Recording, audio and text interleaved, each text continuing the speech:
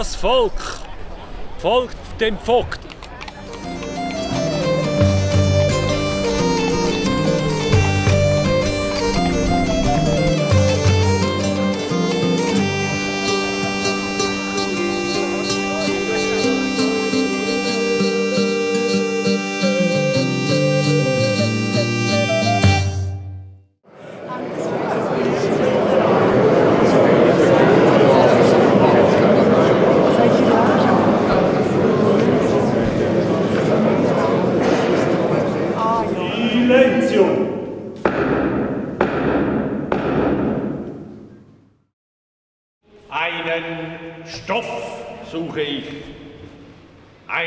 Griffigen Stoff, einen begeisternden Stoff.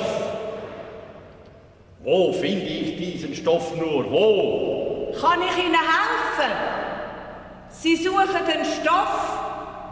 Schauen Sie, die schöne Tracht habe ich selber genäht. Ich habe sicher noch einen Stofffetzen, den ich Ihnen bringen kann. Suchen Sie roten Stoff, blauen Stoff, oder grüner Stoff? Nein, um Himmels Willen. Leinenstoff, Seidenstoff oder gar etwas Wolliges? Nein, Herr Gott noch mal.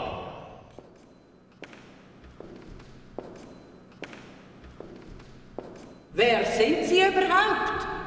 Schiller. Friedrich Schiller. Stoffhändler, Schneidermeister. Sie bringen mich auf die Palme, gute Frau. Ich will doch nicht den Stoff ihrer Kleider.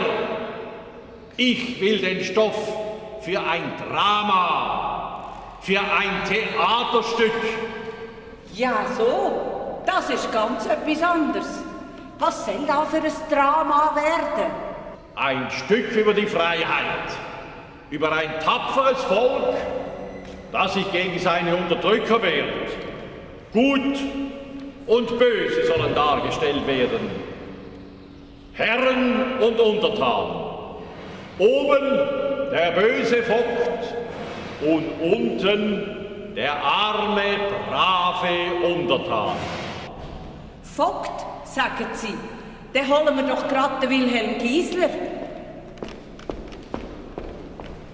Seine Vorfahren sind mächtige Vögel in dieser Gegend. Willi, Willi, komm mit. Ja, was geht's? Kaffee und Kuchen. Komm jetzt einfach mit. Du hast etwas angestellt. Hast du angestellt? Sag mir's nur nicht. Darf ich dir den Herrn Schaller vorstellen? Schiller. Friedrich Schiller. Der halt Schiller. Wir haben eben in dieser Gegend mehr Schaller als Schiller. Das ist der Wilhelm Giesler aus Wigwil bei Beinwil. Wir sagen Vico bei Beuel. Und seine Vorfahren haben Gessler geheissen, nicht Giesler. Und sie waren mächtige und reiche Vögte im Freiamt und Grünigen. Habsburger Vögte. Herr Giesler oder Gessler, es freut mich, Sie zu treffen. Wären Sie bereit, in meinem Theaterstück einen bösen Vogt zu spielen? Ein Vogt? Ja. Meine Vorfahren sind ja schon Vögte in dieser Gegend. Aber ich, ich spiele sicher kein böser Vogt. Meine Vorfahren sind anständige Leute und haben da im Namen der Habsburger für Recht und Ordnung geschaut. Und das da mit dem bösen Gessler ist böses Geschwätz. Übelste Nachrede. Übelste Nachrede. Wäre denn von euch jemand bereit, diesen bösen Vogt zu spielen? Halt doch genau die Frage. Das das sind schon rechte Leute gewesen.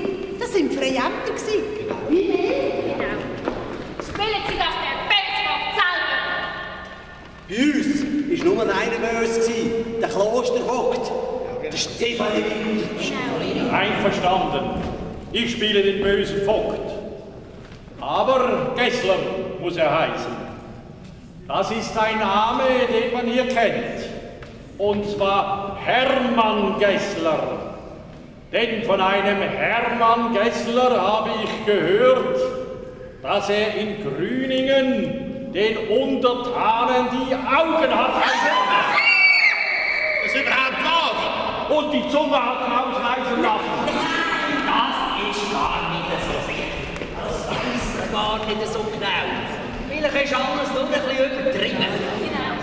Aber eins weiss man ganz sicher.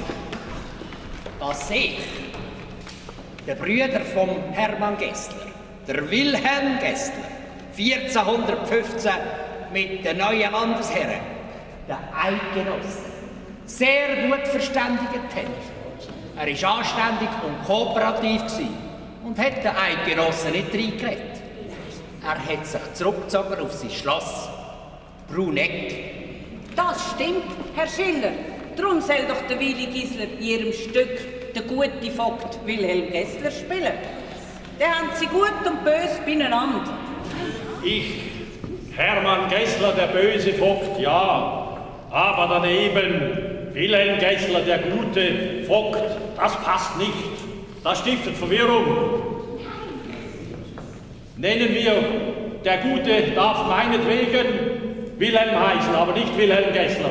Wie, wie soll er denn heißen? Ja, wie? Kennt ihr den Freiheitshelden Toko? Toko,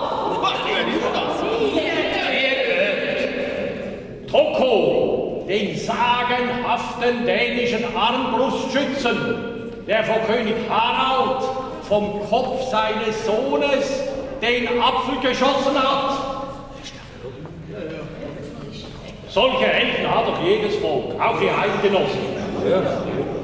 Nennen wir unseren guten Freiheitshelden doch äh, Wilhelm Toko.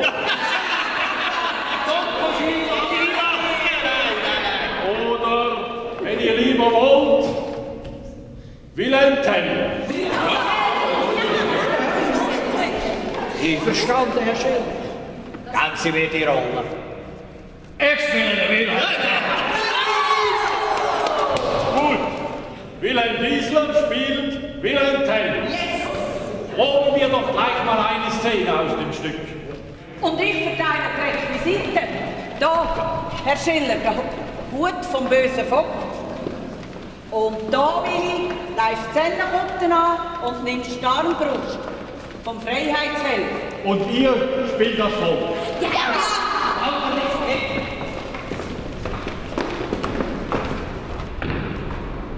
Und da, da stellen wir die Stange her. Und sonst mit dem Hut. wo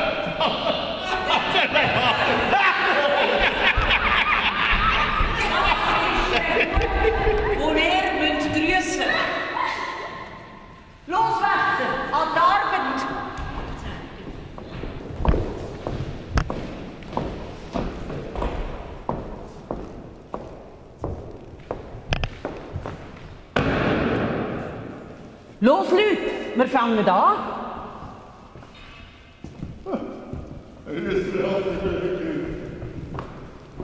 dass man so einen Hut äh, grüßen muss. Dann machen wir das halt. Dann gehe ich halt auf die Knie. Sonst gibt es nur Lampen. Wenn's das sein muss. Lieber folgen, statt Strafen und Qualen erleiden. Es im Friedenslieb.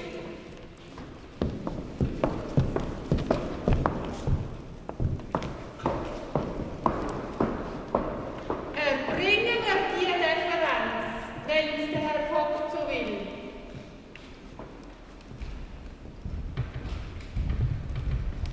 Wenn nur so denn.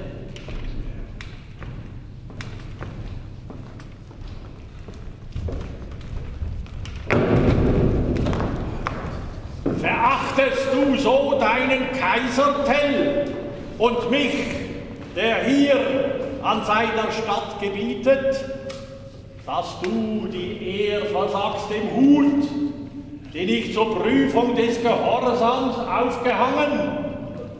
Seid mir, lieber Herr, aus Unbedacht, nicht aus Verachtung eurer Wissensgeschehen. Man sagt, du bist ein Meister auf der Armbrust, Tell. Du nimmst es auf mit jedem Schützen. Ja, einen Apfel schießt mein Vater euch vom Baum. Auf 100 Schritt. Auf 100 Schritte, Tell. Da ist der Beste.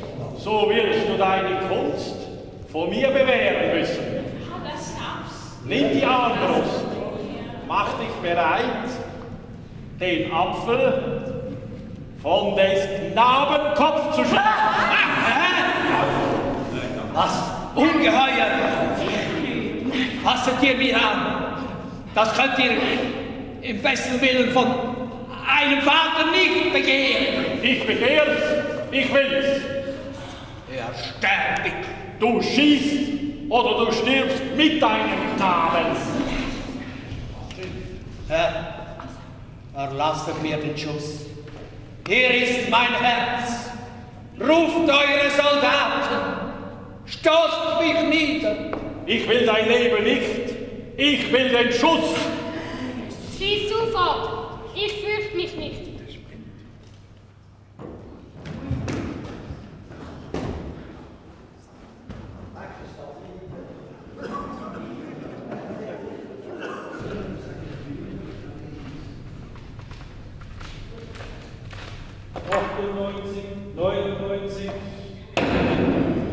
Genau hier.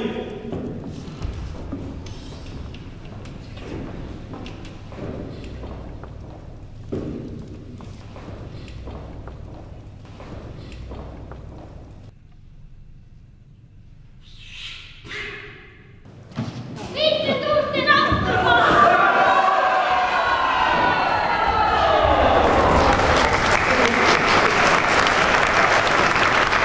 Wir wollen sein ein einig Volk von Brüdern, in keiner Not und Tränen und Gefahr. Wir wollen frei sein, wie die Väter waren, eher den Tod als in der Knechtschaft leben. Wir wollen trauen auf den höchsten Gott und uns nicht fürchten vor der Macht der Menschen. Bravo! Gut, sehr gut. Ihr habt hervorragend gespielt. Das wird ein gutes Stück. Ein Stück von Freiheit und Kampf. Bravo auch Ihnen, Herr Schiller. Sie haben ein sehr schönes, schönes Stück geschrieben. Aber Was aber? es bedrückt mich einfach, dass das Stück so nie passiert ist.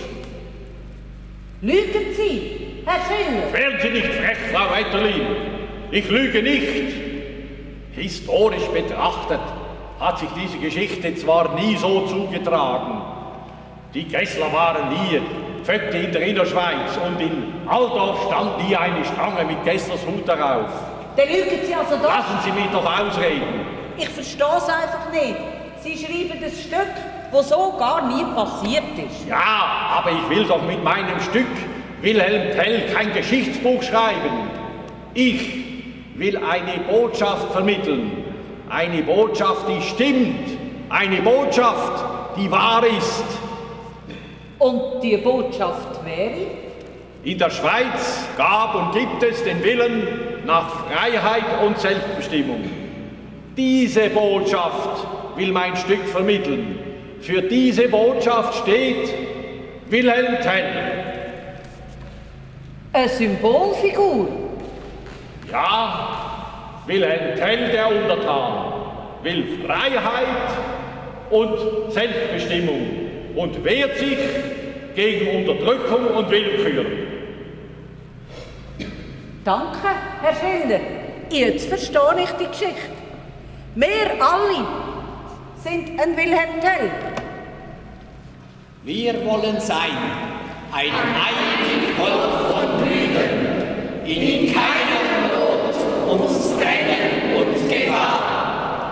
Wir wollen frei sein, wie die Väter waren, eher den Tod als in der Knechtschaft leben. Wir wollen trauen auf den höchsten Gott und uns nicht fürchten. Vor der Macht der Menschen